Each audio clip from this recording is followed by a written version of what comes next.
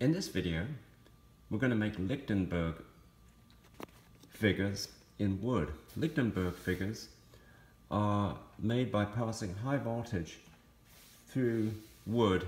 They can be either 2D, as in wood, or 3D, like in solutions or gels. These figures were first described by a German physicist by the name of Lichtenberg, and this was a long while ago. Since that time, Many people have tried to reproduce these figures.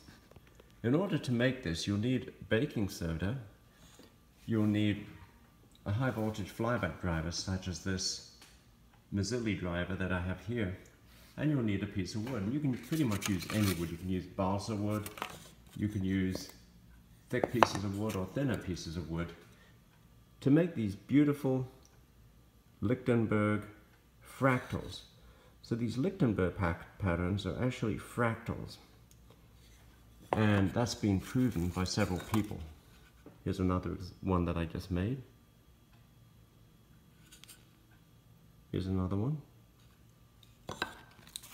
Here's some that were made in the balsa wood. People that have been struck by lightning get a Lichtenberg pattern of burns on their skin, as you can see here. This is the source for the image shown on the left.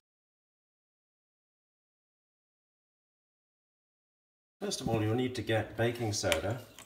You can buy this from any supermarket.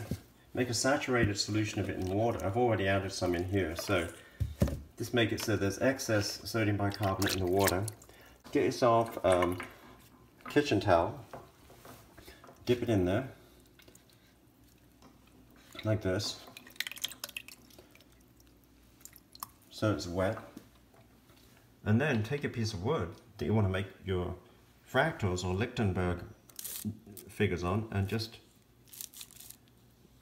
draw the um, saturated solution over the piece of wood. You can use pretty much any bit of wood that you have lying around. I'm using this piece of scrap wood here. You want to make sure it's wet. I tried this when the bicarbonate had dried off and it didn't work. So make sure it's still damp or wet.